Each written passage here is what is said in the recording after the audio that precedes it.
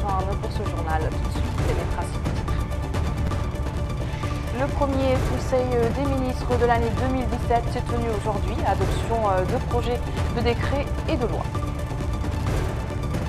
Dans le cadre de sa nouvelle stratégie, le Forum national pour la démocratie et l'unité a organisé un colloque qui durera deux jours à Nouakchott. Et puis réunion de concertation entre le secrétariat permanent du G5 Sahel délégation des, des États-Unis d'Amérique à Nouakchott.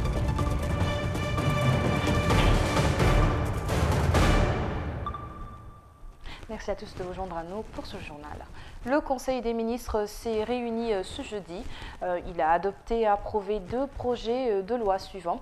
Projet de loi autorisant la ratification de l'accord de prêt signé entre la Mauritanie et le Fonds africain de développement, FAD, un prêt destiné au financement du programme d'appui aux réformes économiques et de diversification de l'économie, phase 1.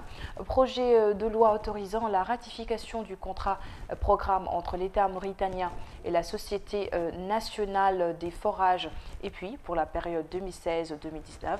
Le Conseil a également examiné et adopté les projets de décret, dont le projet de décret portant approbation d'une convention d'établissement entre le gouvernement mauritanien et la société Grand Moulin de Mauritanie, projet de décret modifiant et remplaçant certaines dispositions du décret sur l'harmonisation et la simplification du système de rémunération des agents de l'État.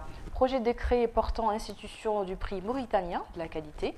Un autre projet portant nomination des membres du conseil d'administration de l'École nationale de formation et de vulgarisation agricole de Kaïdi. Un projet décret portant nomination des membres du conseil d'administration de l'Office national d'assainissement. Le ministre de l'économie et des finances a présenté une communication relative au processus de formulation de la stratégie de croissance accélérée et de prospérité partagée. Le ministre des Pêches et de l'économie maritime a, parlé de la fixation d'un prix de référence pour les produits de pêche à l'export. Voilà, le ministre des Affaires étrangères et de la coopération a exprimé dans un communiqué la solidarité et les condoléances de la Mauritanie à l'État des Émirats arabes unis à la suite de l'acte criminel qui a visé les diplomates au cours de leur supervision de l'exécution du projet de bienfaisance au profit d'handicapés afghans.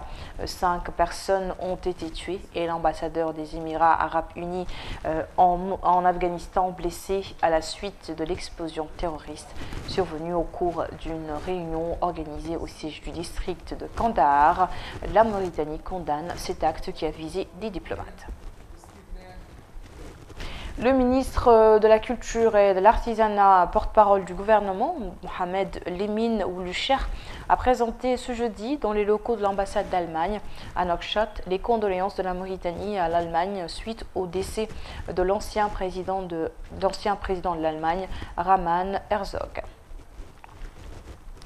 Le Forum national pour la démocratie et l'unité a organisé un colloque aujourd'hui qui durera deux jours à l'ancienne maison des jeunes Nouakchott. Le thème, cette fois, huit années de pouvoir chaotique et résultats catastrophiques. Plus de détails avec Sid Ahmed de Beidatou. Le Forum national pour la démocratie et l'unité a ouvert hier à l'ancienne maison des jeunes de Nouakchott ce colloque sur le thème 8 années de pouvoir chaotique et des résultats catastrophiques, un colloque consacré spécifiquement à l'examen de la situation politique, économique et sociale dans le pays sous le régime de Mohamed Abdelaziz, bilan jugé négatif par cette opposition dite radicale présidée par Cheikh Ahmed Babemin qui a ouvert ses travaux.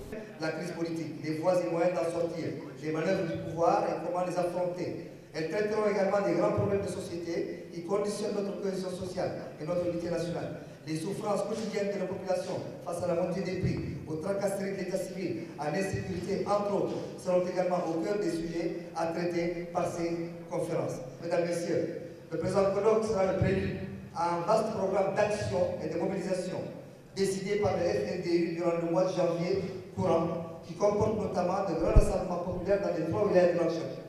Le. Plusieurs communications seront présentées par les dirigeants membres de cette coalition politique durant ces deux jours. L'ex-premier ministre et président d'Adil, Yahya Oulahmed Ouarf, était le premier à exposer sa communication sous le titre la réalité politique du pays, dans laquelle il a parlé de l'alternance pacifique au pouvoir, la représentation de l'opposition dans les institutions législatives du pays, déclarant qu'il n'existe aucun parlementaire qui se sent représentatif du peuple mauritanien. Ce qui a provoqué l'ire du président de Tawassoul, Mohamed Jamil Mansour, et les membres de son parti qui ont répondu qu'il existe bien une opposition forte au sein de ces institutions et au Parlement à travers des députés élus au la main lors des dernières élections législatives.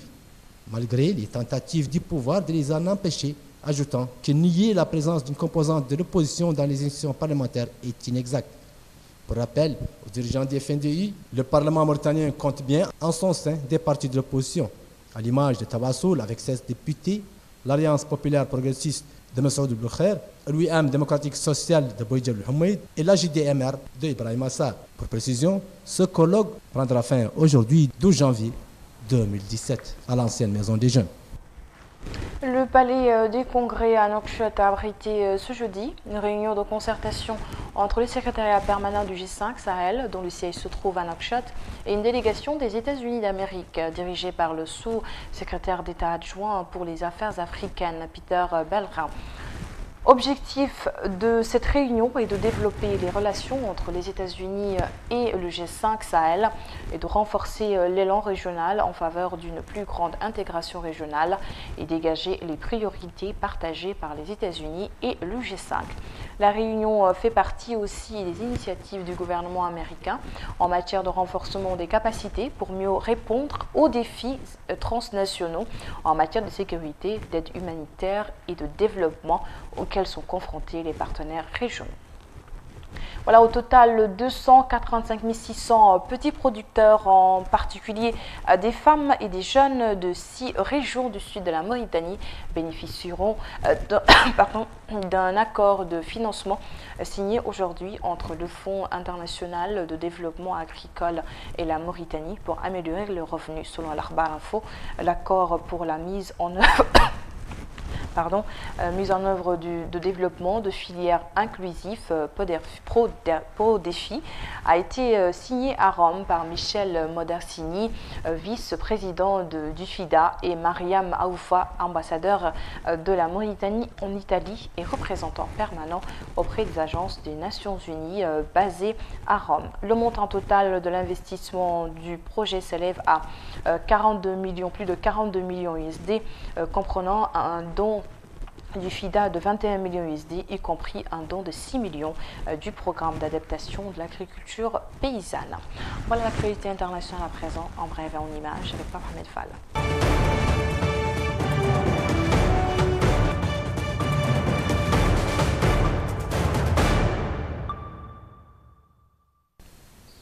Comme devant une cour de cassation, ce procès en appel ne revient que sur les questions de droit et il fallait parfois son code pénal pour suivre les discussions. Ce matin, M. Verneil, avocat des partis civils, a balayé tous les arguments de la défense en appliquant justement que le droit a été respecté tout au long de la procédure. Après deux heures de plaidoirie, sa conclusion est limpide. Quatre ans après le lancement de l'opération Serval, le 27e sommet Afrique-France, SAF, doit se tenir à Bamako en janvier 2017. Une rencontre qui réunira autour du président François Hollande et de la délégation française une quarantaine de chefs d'État et de gouvernement du continent et à peu près autant de membres dans les délégations des différents pays, soit 2500 à 3000 participants attendus. Toujours en Mali où le cerveau présumé de l'attaque meurtrière du 13 mars 2016 contre la station balnéaire de Grand Bassam en Côte d'Ivoire a été arrêté dans le nord du Mali par les militaires français de l'opération Barkhane, indique Radio France Internationale RFI, citant une source proche du dossier. L'information n'a été confirmée ni par l'armée française ni par les autorités maliennes.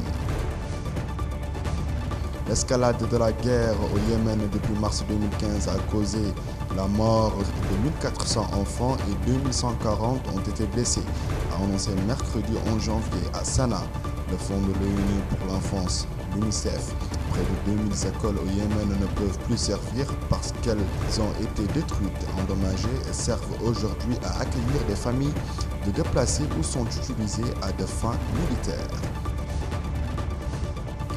Et enfin, une arrivée de blindés américains chaleureusement accueillis en Pologne et donnés par Moscou. Ce premier convoi venu d'Allemagne s'inscrit dans l'opération Atlantique Resolve décidée par Barack Obama après la prise de la Crimée par la Russie.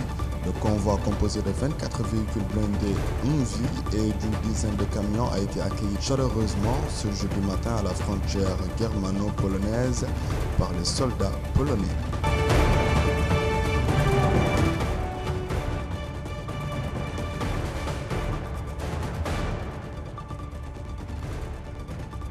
Nous arrivons donc à la fin de ce journal. Merci de nous avoir suivis. Le rappel des titres avant de clore cette édition. Le premier conseil des ministres de l'année 2017 s'est tenu aujourd'hui. Adoption de projets de décrets et de lois. Dans le cadre de la nouvelle stratégie, le Forum national pour la démocratie et l'unité a organisé un colloque qui durera deux jours à Nouakchott. Enfin, réunion de concertation entre le secrétariat permanent du G5 Sahel et une délégation des États-Unis d'Amérique à Nouakchott.